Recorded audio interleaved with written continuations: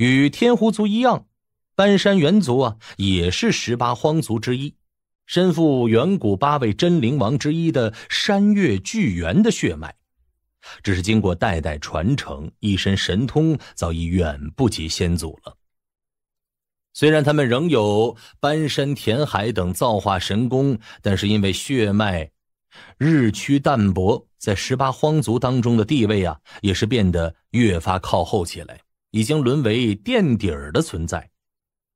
至于搬山猿族的模样，哎，看起来倒和庆元有几分相似，只是他们的体型小了许多，浑身皮毛呈现青黑之色。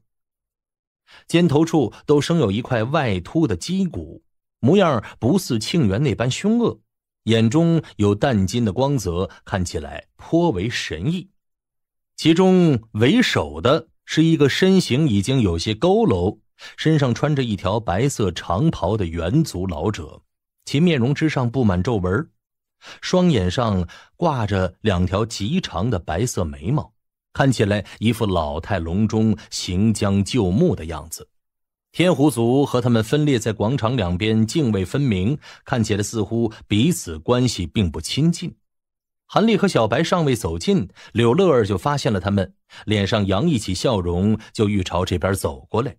结果还没动身呢，就被柳青低声的呵斥：“今日大会姿势体大，不要胡来。”柳乐儿只好吐了吐舌头，悻悻然站在了原地。韩立朝着柳乐儿笑着点点头，在周围众人疑惑的目光中，带着貔貅小白神色自若的走到了广场前端。一旁的搬山猿族中有一名体格明显逊色族人许多，只有成人一半身高，浑身毛发也与众不同。为雪白之色的家伙，像是被韩立两人吸引，满脸好奇的打量着这边。小白被他看得很是不悦，冲他龇牙咧嘴，做出恐吓的样子。结果呢，那个家伙竟然颇为胆小，被小白这么一吓唬，就躲进了身旁一名高大族人的身侧。小白见此，觉得有些好笑，脸上的神情也就松弛下来。这时候，那小白猿又从族人身旁探过身子，朝着这边啊张望着，咧嘴笑了起来。柳青忽然主动开口：“韩道友，虽然王上特许你前往八荒山观礼，但今日毕竟是我们蛮荒众族的一件亘古少有的大事，有些事情还是需要提前知会你一声的。”韩立赶紧说道。前辈，请讲，愿闻其详。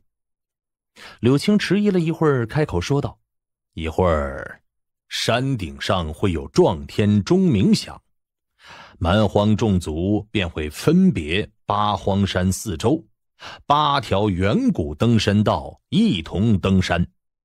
想要登临山顶并不容易，山道上有远古八王设置的禁制，对一切生灵皆有压制作用。”即便是血肉强横的蛮荒异兽，也未必能抵挡得住。所以我劝你量力而行，莫要逞强啊！韩立点点头说道：“多谢前辈提醒，我记下了。”说罢，他的目光又在柳乐儿和小白身上各自看了一眼。他们二人均不以体魄见长，一会儿登山之时，岂不是要吃大亏？柳青说道。不用担心他们，但凡体内蕴含有远古八王血脉的后裔，越是血脉之力浓厚，越是不用担心压制。相比其他人，他们攀登起来只会更加轻松。韩立听罢，这才心神一松，放下心来。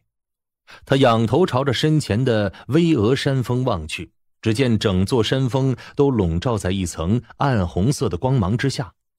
一条开凿在山体之上的石阶古道，宽达千丈，如同一架巨大的天梯，近乎笔直的竖立在身前，心神也不禁有几分激荡。就在这个时候，山顶之上三声洪亮的钟鸣之声响起，一层层肉眼可见的虚空涟漪从山顶激荡开来，朝四面八方一卷而开。韩立见此，心中微微一动，这股涟漪当中啊，好似蕴含着一种十分独特的波动。当其从头顶荡漾开始，令他觉得自己体内的真灵血脉好似被唤醒了似的，不用他催动，就自行在体内各处游走起来。他定了定神之后，再一看周遭众人，一个个身上气息大涨，似乎都受到了一股神秘力量的指引，周身之上都溢出了淡淡的粉红色的雾气来。遥远的虚空中，忽然传来了一阵悠长而低沉的号子声，紧接着便有阵阵苍凉的声音传来。那声音听起来忽远忽近，令人琢磨不透。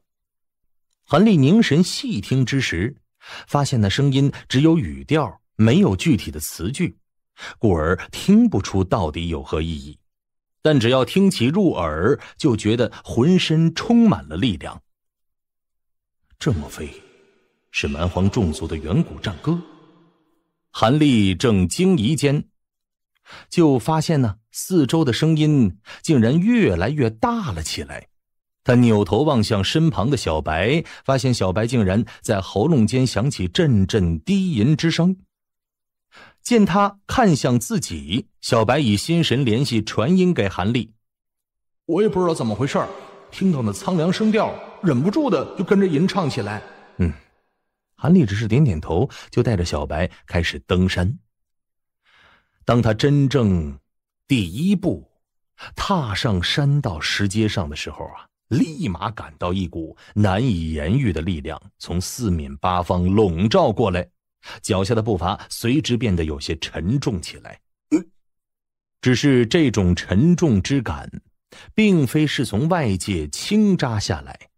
倒像是整座八荒山都变成了一块磁铁，从其内生出阵阵吸引之力，将所有攀登之人呢都牢牢的吸附在了其上。不过这种程度的力量对韩立来说并不算太强，行走基本无碍。而天狐一族和搬山猿一族众人也都行走无虞，攀登的速度并不算慢，很快就已经上到了百余级。韩立和小白的速度呢，与天狐族人基本相当。回身下望之时，却见山下广场上仍然有数千人站在广场原地，没有登山。韩立传音给柳乐儿，问道：“乐儿，为何他们那些人要留在山下呢？”柳乐儿很快的回答：“他们不在千百部落名额之内，因为是十八荒族的附属部落，才有资格留在山下。更多的部落只能留在镇荒城内，连圣山都不能靠近。”哦，看来能够参加血祀大会，的确是一件颇为荣耀的事情啊。柳乐儿回答说：“的确如此。能够上山的千百部落，或多或少身上都有点远古八王的血脉遗存，因而才被允许登山。所以，王上能特许你陪同小白上山，连族长都觉得十分意外呢。”韩立闻言，眉头微微一挑，没有再说什么。复又登上了数百级石阶之后，地面石台上开始出现了道道远古符文。登山众人每一次落脚之时，便如陷泥沼，落脚容易，抬脚难，以至于许多人的姿势都有些古怪。